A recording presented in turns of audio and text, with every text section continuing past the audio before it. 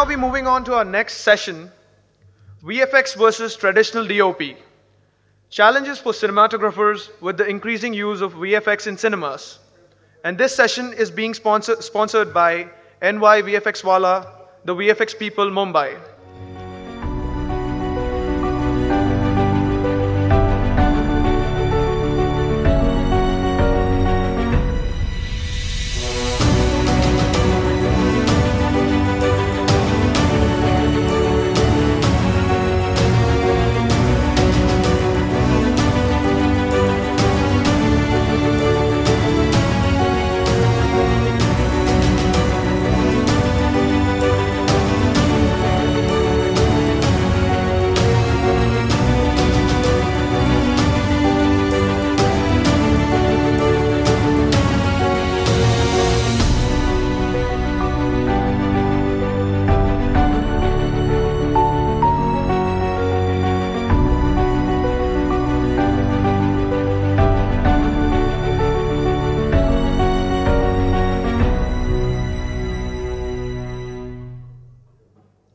Huge round of applause for that video.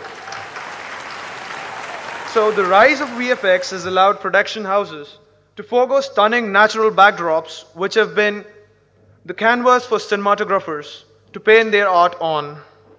But shooting for later VFX processing is a challenging as well, is very challenging, I believe. Despite modern day cinematographers having taken this in processing is a challenge. Their stride, but will more, uh, but will more such modern technologies limit their creativity and need? Is modern technology a threat to the realism portrayed by gifted cinematographers? This discussion follows the thought process of eminent stakeholders of the industry on VFX. Other emerging processing technologies and their impact on traditional cinema capturing techniques. I would like to invite onto the dais Ms. Priya Seth, Mr. K.K. Senthil Kumar, Mr. Peter Drapers, and Mr. Naveen Paul for our second interactive session discussion of the day. Mr. Uh, Ms. Priya Seth is a cinematographer and she's done the film Airlift.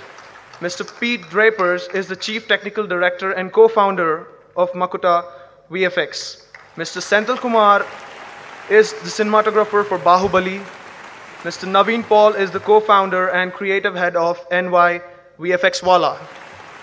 I now hand over the mic to Mr. Naveen Paul, who will be moderating the discussion today. Hi, uh, good evening, everybody. Uh, in fact, I'm not briefed what I'm supposed to talk right now, but then probably I'm the moderator, so I'll give a go heads up to Mr. Senthil Kumar, Pete, and uh, Priya to probably talk on the topic that uh, this gentleman just said. So uh, I think let's start with Pete, and uh, probably Senthil and uh, Priya can start. Hello. Hi. Hello. I've got some got some of my guys here. Hello, everybody. Don't heckle. So uh, for me, uh, working with obviously, I mean, we. we oh, hello. That went. Um, we take our lead from people like uh, and Priya. So I don't really feel. In essence, it's basically a competitive element more of a collaborative, uh, definitely a collaborative, because basically when it comes to set work, we're bouncing ideas. He's obviously driving it naturally, but and then we follow his vision. We follow uh, the composition and trying to determine the sort of style and the sort of aesthetic when it comes to the lighting, when it comes to a shoot. So he'll instruct exactly what sort of things, and we'll try and follow. I mean, even in this very floor itself, when we were shooting Baahubali, I've got PTSD from getting the shakes now. so, taking his lead, we're actually driving the aesthetic not only actually on camera itself, but also afterwards. So, I mean, for me, I'd like to know really how did you find the experience? Did you did you find it was uh, enjoyable, problematic? Because I know we had some little arguments. So yeah, I'd just like to pass to Senthil about that. Oh. Actually, the topic was supposed to be like uh, challenges for a cinematographer in uh, increasing VF incre- with uh, increasing number of VFX films being done or increasing number of VFX shots in a film. So actually, uh, see, finally, first and foremost, we should understand that filmmaking is about storytelling. So VFX is actually helping filmmakers all over the world tell their story in a better way. Probably like before VFX was involved so much, there were traditional ways of doing effects, like we had back projection and so many things. So now we are moved at moved to a point where we can imagine whatever we want to and uh, that Pete and team can uh, really fulfill that dream. So it's actually like as he told, it's a very collaborative effort which happens right from the pre-production stages till the post. It's a uh, ongoing process right from the time the director tells the idea to how it is being transported on screen. At some places, the cinematographer takes the center stage. At some places, the VFX guys take the center stage. So it's a very collaborative process, and uh, the challenges are, yeah, as uh, the technology is incre- in- increasing in its own way, making things easier for us. So it's learning and keeping up to the technology is the biggest challenge which happens, and uh, uh, I have been surrounded with people like Pete and uh, Kamal and Srinivas Mohans who, who helped me upgrade my knowledge. So it has it has always been a challenging experience. So whenever you're shooting any film for that matter, it's challenging. And VFX film, it's a little bit more challenging because you have to coordinate with uh, lots of people, and at every stage you are questioned. I I know Pete like when you put the camera, you always tell okay what is the height of the camera whether it's tilted one angle two degrees. So we have to even take care of all those things. So coordinating with uh, them is a, a bit challenging. So then probably I think uh, we should just give one round of applause to Mr. Senthil for being so, uh, so, uh, I mean, uh, really, I mean, he's a, he's a big cinematographer and uh, really happy to know that he has such high regards for VFX. So I think, uh, Priya, I think you should just. I, I'd just like to ask one question. Where do you think in the, I mean, in the entire scope, 'cause we travelled together for what, about four years on this. Where do you think it went right and where do you think it went wrong? Where do you, and where did it go wrong and how? it uh, actually like uh, when you are doing uh, any film for that matter director has a certain idea of what he wants so we all start off very enthusiastically by the time we end the film we are fighting because we don't have time. So that is the biggest factor we are always uh, fighting for. So it always feels that if we had little more time we could have done better. So that is the thing. Or else like uh, uh, and probably like uh, the fights make it more uh, what i can say worth uh, remembering what and how it happened and all. So the best part of what i learned in Baahubali is uh, the concept art and uh, pre-visualization that is uh, what really opens up your mind and gives you a clarity of uh, thought that where we are heading. So when you have concept art towards you and when you are doing your uh, pre-visualization it really puts everyone onto the same page. Because like i might be thinking something different he might be thinking different she might be thinking something different when you talk about a rose. So everyone has a certain uh, way of looking at it. So when a concept art comes in or when a pre-visualization comes in then we are everyone on uh, on the same page so that is the best part of probably how films should be made we should all to start with be on the same page then as things keep progressing we have challenges and differences and all that Well, I think uh, they've summed it up pretty well because there's no question that we're on opposing sides with VFX ever. And I think more and more our jobs with VFX is getting more and more combined. And when you start out a film, if you start out with both departments being on the same page, it's only going to better what we're going to get because very often what happens on a set is sometimes you don't have enough time to light something in a particular way or you haven't had time to finish something. And it's not only about special effects but it's also about things like cleanups and sometimes polishing the work that we haven't been able to do on set. But for us to know that it can be done later you need to know you need to understand what you know people like yourselves actually do and if we're on the same page it allows us then to take our work a little more you know polished and finish if you're not able to do it because very often you know budgets are short time is tight but you know that we have people like you to just take it over if we can't do it on set I mean, on, on, on some shoots on, and some productions, what we've, what we've noticed in some cases that it actually does actually, how can I put it neatly? Um, enables people to cut corners. Do you feel that that's the case? So, like, okay, well, no, we'll, we'll get graphics to fix it, or is is that there? The worst four. I mean, for VFX, the worst four words we hear on set are "fix it in post." Yeah, and we we we hate that because we. Oh, hello, this microphone. We always like to see it in camera. You know, we want to basically be able to put the time, the effort, and the money uh, into the work, the the hero shots, so to speak that are required for that particular for the particular job itself. So do you do you feel as a cinematographer that um, that sentiment is there, or do you feel like it is making people lax, or do you feel like it's you know people are aware that yes we can utilize this to you know resolve some matters, but you know what let's just go for another take and and uh, the time. I mean, are, are you as a cinematographer aware of the amount of time things takes in post? And how diluted that can be if we're actually doing more fixes than the actual creative side? Um, yes, of course. And I think a lot of times what happens on set is when we get into these things of we'll fix it in post, it doesn't come from the DP, it comes from the producer. It's whenever, you know, it's when you know you're rushing for time, it's like, oh, okay, we'll just get VFX to do that. We'll get VFX to match the light. You know, we hear that all the time. And uh, the problem is, very often it goes out of your control on a shoot. And that comes from ignorance from the side i'm sorry to say from whenever you hear this about we'll fix it in post and you know it's unfixable because post isn't there to fix stuff. It's there sometimes just to finish it or you know sometimes you're on a corner and you paint into a corner and then it is to be fixed. But otherwise uh, yes but that's that happens a lot and it comes purely from a place of ignorance where we hear this and we hear it either from directors or producers where we're told that uh, oh don't worry about that. We'll just clean it later. We'll fix that in post and one has also realized that never trust that because then the cost of VFX goes too high and then you're left with one C stand standing in the corner of your frame. Yeah. yeah. So. When you have blue screen all around and the only live thing that you have the characters. So do you what what is that uh, thing that bothers you? Or or probably uh, how how uh, do you actually and I, you know uh, if you can explain how do you light up the shot when everything around is blue or a green screen?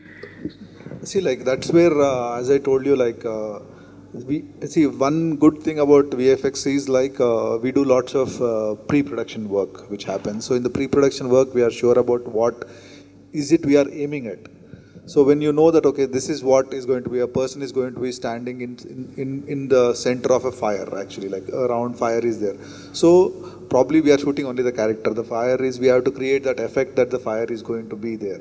So those kind of things we take care of. Okay, finally we are actually shooting it keeping in mind the end result like it can be your lighting it can be the kind of angle which you keep and what you're expecting out of it. So we have a clarity of thought in what is the end product. So based on that, what are things we have to do that we have to do obviously in coordination with the VFX guys. So that's how it happens actually like. So one good thing about VFX is we have to compulsorily do our pre-production work. So that probably for a regular film, sometimes you might get, okay, we'll see it on the set. For, for the VFX based film, it is sometimes, yeah, we, we, we tend to like, okay, like, okay, let's see kind of a thing. But 99% of the time, it's always, we are very sure about what we are doing. So Pete, I think uh, you should also tell what you think about it when you when you when you shoot something like this. 99% of the time we're sure what we're doing, maybe we'll actually achieve maybe 60% because there's always, there's always going to be some uh, third party element which is going to cause an issue that we'll have to, you know, bounce ideas back and forth and to come up with something that we can actually utilize, we can visualize at the end of the day. I mean, for uh, for whenever it comes to a shot that has a blue matte, if it's not been decided in advance, that's when you know we start having issues. The cinematography starts having issues. The cinematographer starts having issues as well because neither of us can visualize what it is unless it's determined in advance. If it's a case of you know we get the direction to say, "Oh, we'll sort that out later." Well, he doesn't know how to light or compose we don't know what's going on there, so we can't advise. So again, like Senthil mentioned, the pre-production is essential for that. It actually is totally, totally essential for it.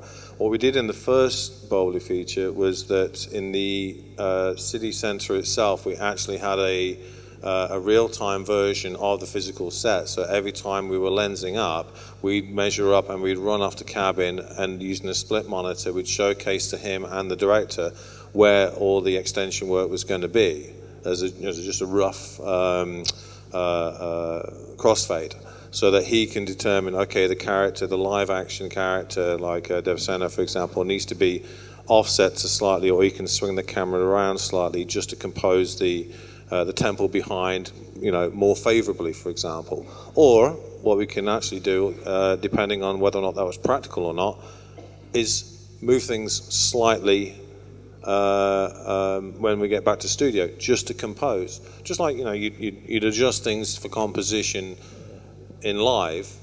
You're framing for the you're, you're, framing for the camera. You're framing. You're lensing for that. You're composing for that. You're lighting for that. We all love doing single camera work as opposed to dual camera work because then you start having issues and so on. So we like lensing and setting up lighting and balancing for that particular shot as well.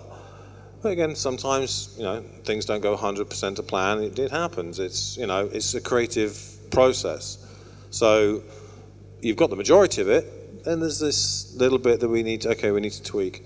If I remember correctly, for Magadheera, to get the actual uh, idea for the height of the buildings and so on, that we erected balloons.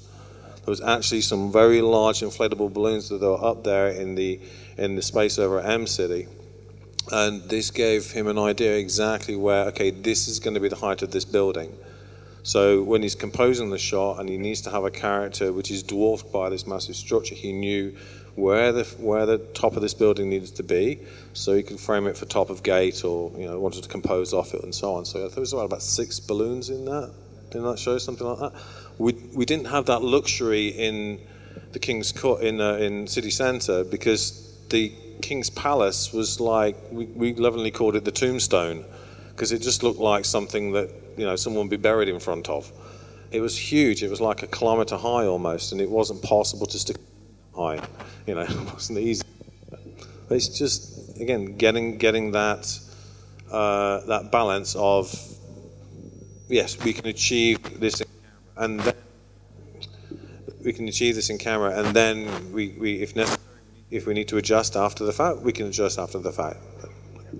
I think what I find with um, when you're shooting against a blue screen or green screen is you miss some of the, of course, prep stuff and you know you get all the technicalities right? And we get the lighting and all of that because we previs i think what i miss when i'm not on a set on a live action set is just some of the organic experience of being in the environment. And you know to want to react to something or to see what's interacting with what or just being you know when sometimes you're in a beautiful place and you're you're in the space you tend to change things because it feels right at the moment and when you're shooting against blue or green screen you have to pretty much trust your homework as opposed to the idea that you can maybe feel something or change it.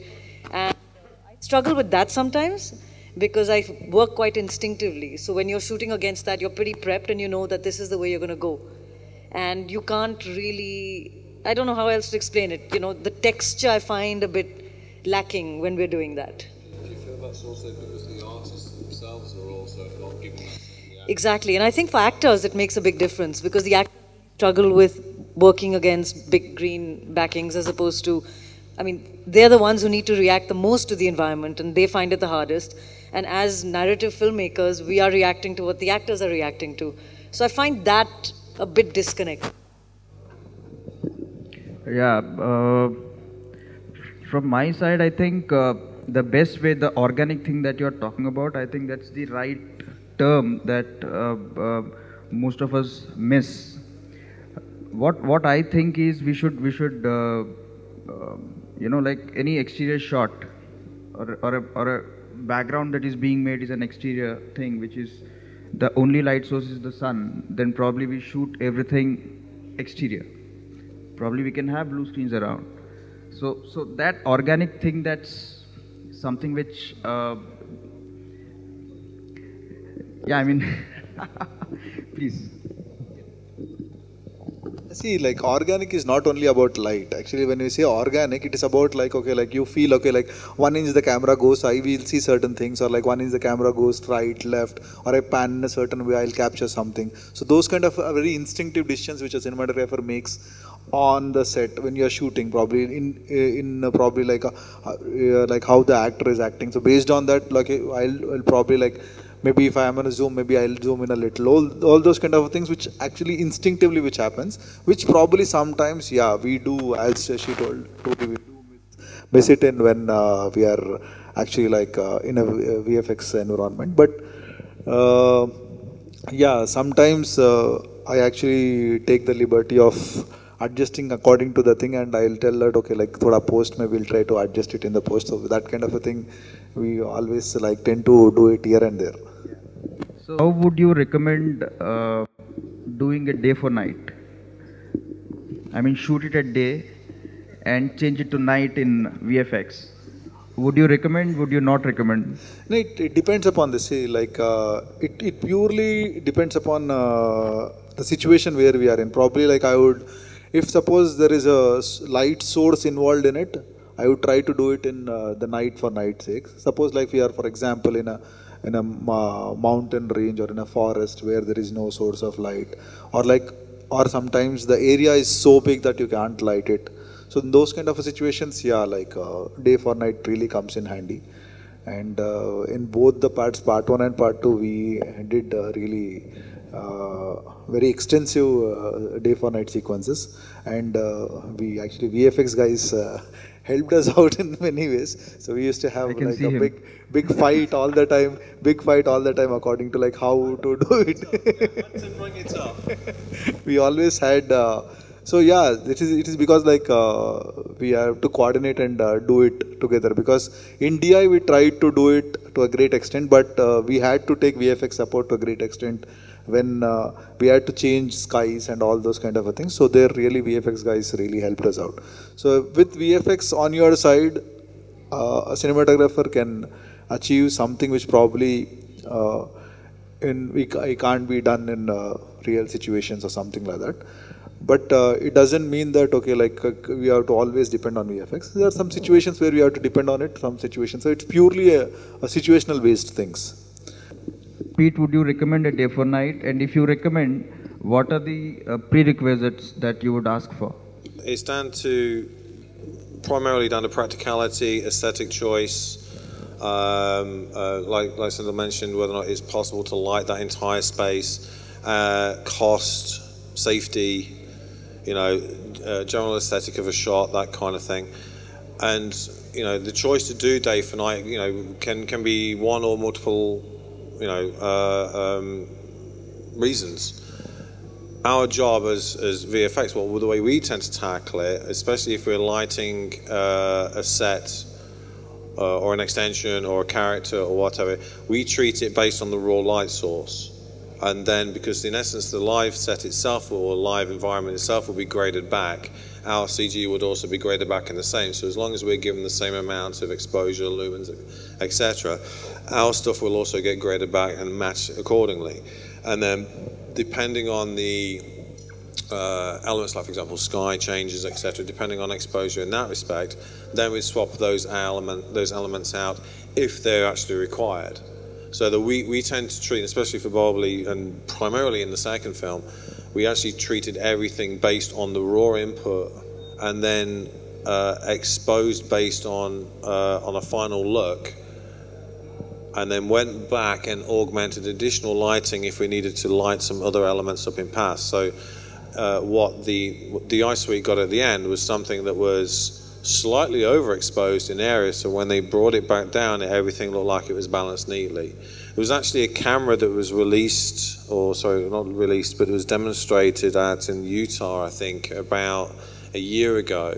And they had, something like uh, 64,000 ISO or something, something ridiculous, and it looked like a complete day shot at night when you had these headlights come through, and it, and and it just came for us at exactly the right time because we were in this middle of this day for night debate and determined the pipe trying to nail that down. And this came out, and I went to see, see, look, that's what it's supposed to look like at night. It looks like day, but the you know amount of light that goes into the aperture is less. But then you've got all those other elements, like for example, you know, uh, headlights. You've got uh, you know uh, practical lights and so on, lights and so on and they contribute to the localized environment. So we were in essence trying to replicate that, you know, 64,000 ISO shot day, but shot it looking like it's day, but it's shot at night, and then expose it back. And that's kind of how we came to a, a conclusion. Work at it as it was for day, and then augment after the fact by looking through a LUT. Sorry, what was your question? I forgot after he spoke. No, we are talking about uh, doing uh, shooting at day and changing it into night in VFX. So, what do you think about So it? I think what happens with uh, day for night, the one thing to be careful about is uh, most often you won't be able to control the angle of and going into you know it starts angular top light movement and I think that's where it sells out a bit because the angle of where you're supposed I guess trying to replicate a moon source with the sun is where we get into a bit of trouble with that. Because it just goes into a full day and you've got like this topish moonlight which isn't what you would be doing if you had chance to light it. So i think the compromise is there in that.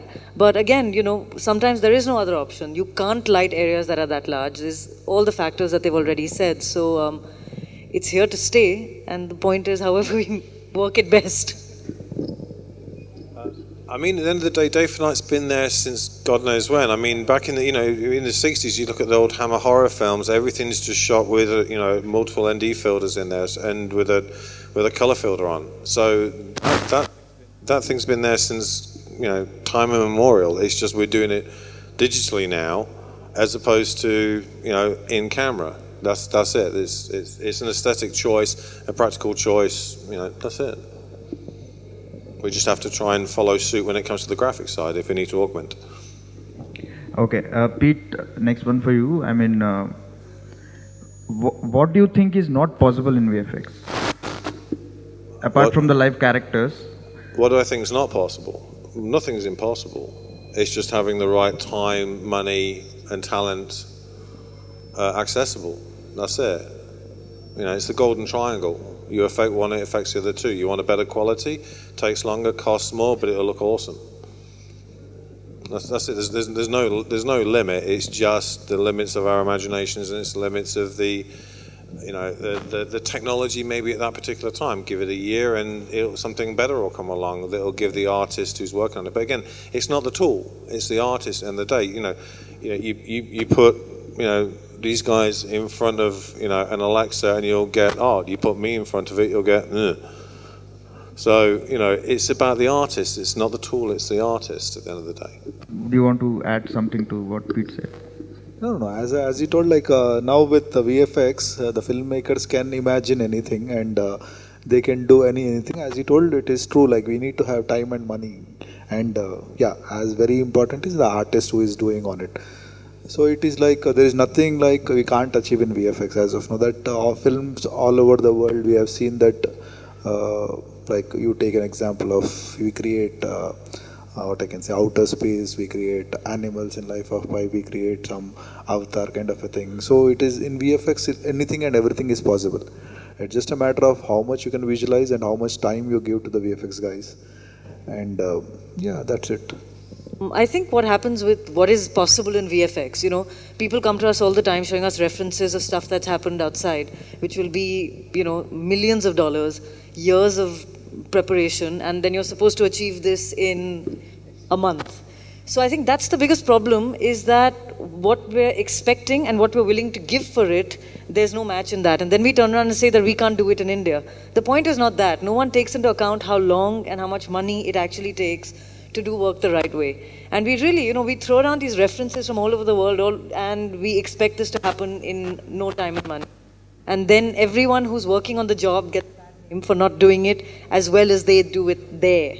But that's really not the point. It's like we never we're never willing to put in that much money into VFX and to making sure that live action and VFX actually marry and integrate as well as references that we're showing. We just don't put that much into it. Yeah, I think uh, in India, I think uh, uh, obviously, like what uh, Priya said, that's absolutely right. I mean, uh, we are in a transition phase where we are all realizing that VFX is something that takes time and money. to to probably The thing is, it's, it's not just here. It's it's not just here. Don't don't localize it to here. It happens in the UK. It happens in the US. It happens all over the place. Somebody sees something good, says, "I love this. It's great. I don't have the budget for it. I don't have the time for it. Uh, I need it. Give it to me." yeah i mean yes It's uh, like it's like it's uh, like it's like going to a McDonald's and asking for five star cuisine. It's it, it doesn't it doesn't match. But I've got a McDonald's budget, but I want a T-bone steak. You i think you should start the next topic now So my question is, uh, can you suggest us any mandatory precautions which should be compulsory taken when we are shooting on green matte?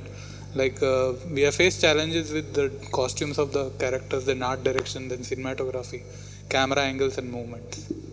Camera angles and movements are uh, not an issue. It is like how you light up your green screen and uh, So mandatory should- precaution, if you can point it, point out few. No, it is because it is very situational. If you are shooting in indoors, it is different. If you are shooting outdoors, it is different. What is the lighting scenario you are in?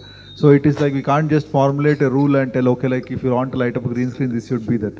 No, like probably like uh, one thing mandatory is like if your character is like little far from the green screen or blue screen, where the spill of the uh, of what you lit actually the spill of green screen doesn't come onto and those kind of things. So or else it is about like just uh, getting what you want and the, the, the best possible way. It is like, see, when, uh, see, we, we don't have any rules. Like in films, we don't have rules. In VFX lighting, also, like we don't have rules. Like it is like based on the what kind of a shot you are doing, uh, you should actually formulate or come up with something which is uh, right for it. Hope that uh, answers. So, in addition to that, it's, it's a case of like having an idea what you want to achieve at the end. You, you should have an aesthetic, either either conceptualized, approved, either from yourselves or from the DP or from the director or from the producer, whoever's taking the creative call at the end, so everybody breaks down exactly what needs to be done. So everybody on set knows exactly what's going to happen. And again, most of the time it works, sometimes it doesn't, and sometimes you have to think on your feet. And that that that's when you start getting stressed. But at the, end of the day, you you get what you can. You try your best. You get what you can at the end of the day. I mean, as, as far as rules are concerned, th- there's a few. There's not many. Um, if you if you if you're dealing with green matte, it's basically you need to expose it maybe slightly under, so it's not burning edges of skin. For example, especially for those with a darker skin tone. Someone with a Caucasian skin tone, what green screens are working okay, but again, if you overexpose it, it can still burn. Uh, for uh, don't forget that green screen actually kicks light more than color.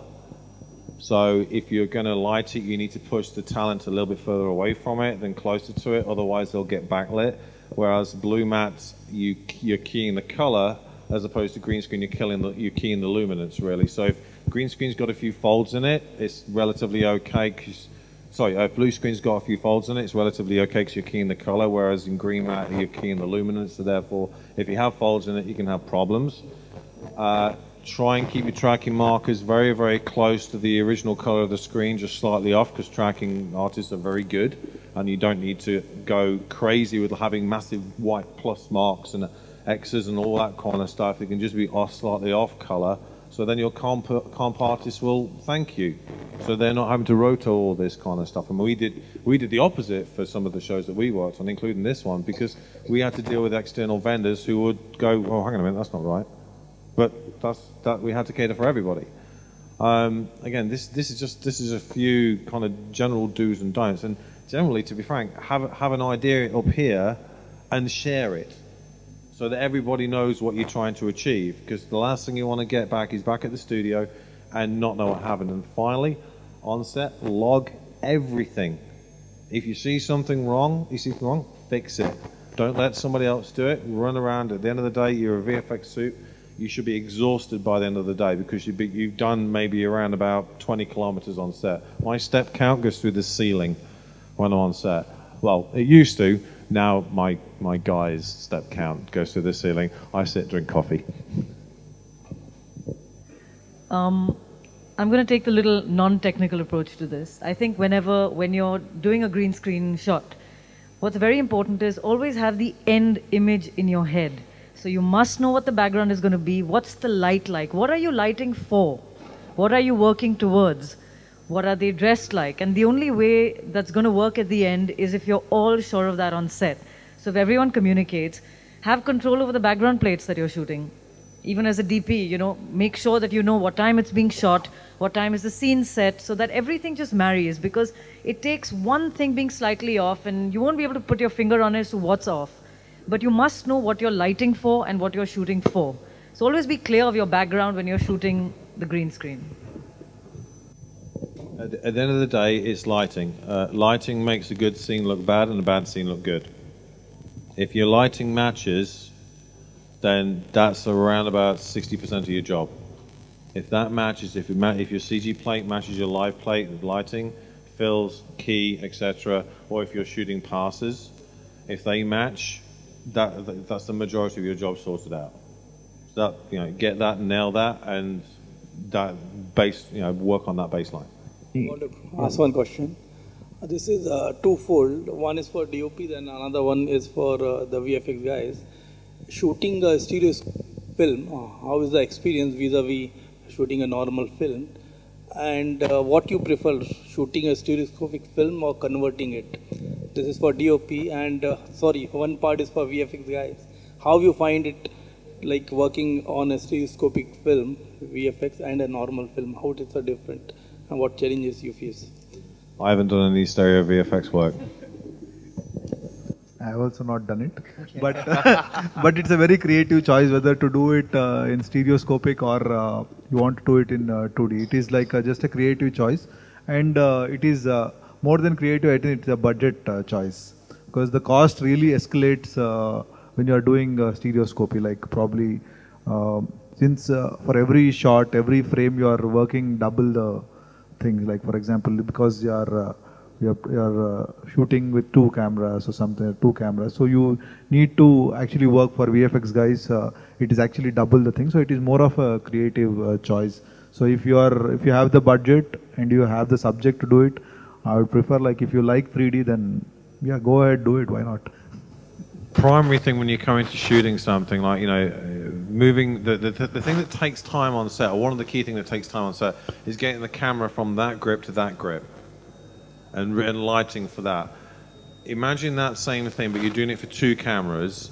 Plus, you've got to sort the interaxial convergence as well. So you've got to adjust the convergence for every single thing. So not only when they're racking focus, you've also got to rack the convergence as well. So when I when I look at something and I move forward, my, my eyes go like this as I'm coming in and out. That also needs to match when when you're pulling focus. I'm just So- adding one thing to it. It's like more close to human eye. Sorry? The way human eye looks at the things. Yeah, exactly. The 3D is more close to that. Yeah, I mean, It's the cam- the cameras are- the lenses are actually it's the same a distance natural thing to do stereoscopic compared to like it's behaving like a human eye. I mean, there's, there's two ways to do that. I mean, one, you can actually be, do it by uh, fixing the cameras parallelly and then doing that interaxial convergence, interaxial convergence in post. And then you've got the control back in post to do that. So in essence, you're working for two separate lenses that way. Or you can do it in camera. One is better than the other one because in post itself, you end up having to do some more shearing and paint work to fill in the gaps. Whereas uh, in, if you're doing it in camera, it feels, feels more natural and fluid, but it takes longer. And like I say, you've got to shift both cameras from two, one grip to another grip, and that takes time. Um, there's been uh, several features, you know, here that's been done in stereo work, and they've they've gone over budget or they've, they've taken longer, and, and has the result been what people wanted to be achieved? Possibly, possibly not. You look at Peter Jackson. Why on earth is you know why is he succeeding? Why has he managed to do it? He's done loads of stuff in 48 FPS in in in um, in 3D. How did he manage it? Very very straightforward. He had a ton of money, and he had a ton of money because every single grip had a camera setup already preset. So he just went camera done. He didn't need to strike it from Jimmy and put it on a tripod or put it on a dolly or something like that. He had one for dolly. He had one for tripod. He had so many. He had a room full of rigs that was already preset. he could just place. Sorry to interrupt. Sorry. Can creativity will address the money issue because this will be uh, ongoing process always. Money is short. Money is short. Uh, So that- how can again- one? I'm saying can creativity will address the money issue because now we are in a very good position. The kind of tickets and people are paying for the tickets and all. It's a better situation back like five years No. back. Now See, we are in a better... It is, see, it, it, first of all, it is, as a creative choice, it should be in the subject, whether the subject needs it or not. That's the that's where it starts.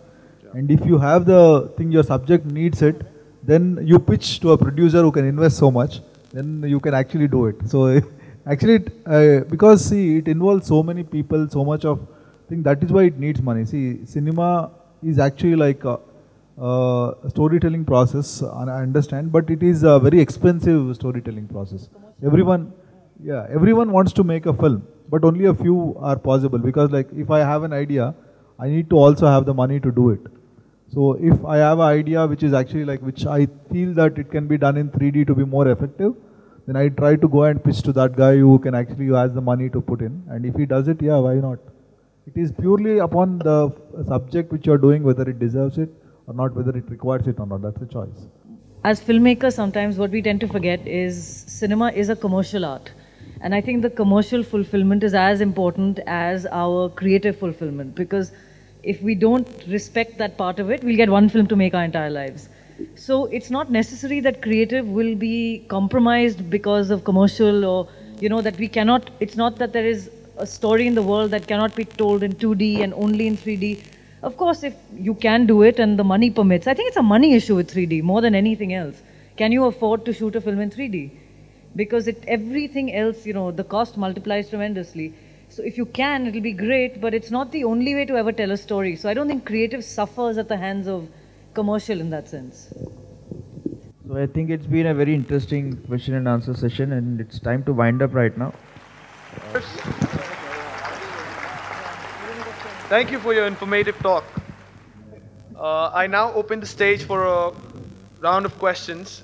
Very good evening. My question is to Priya. Uh, what I heard is for airlift, except one small news item uh, published in Gulf News uh, during that crisis, there was no any research or reference material.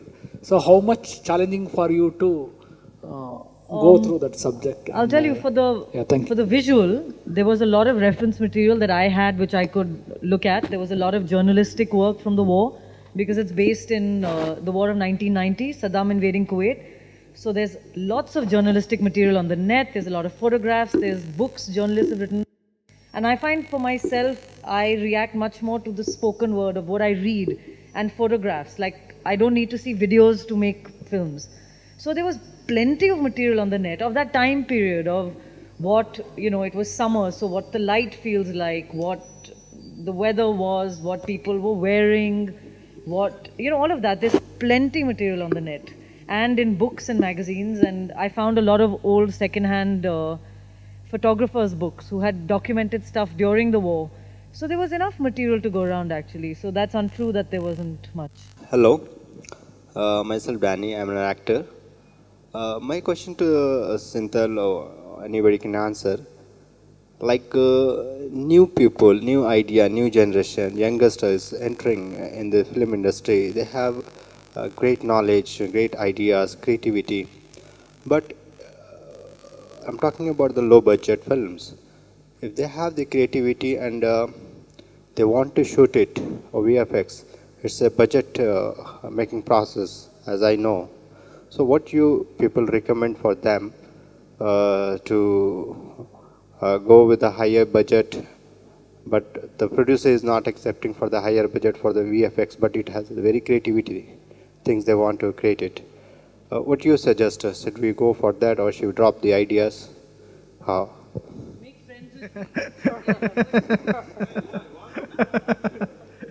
see, like, uh, see, our uh, uh, generally like uh, film industry is uh, driven with creativity and also with the budget.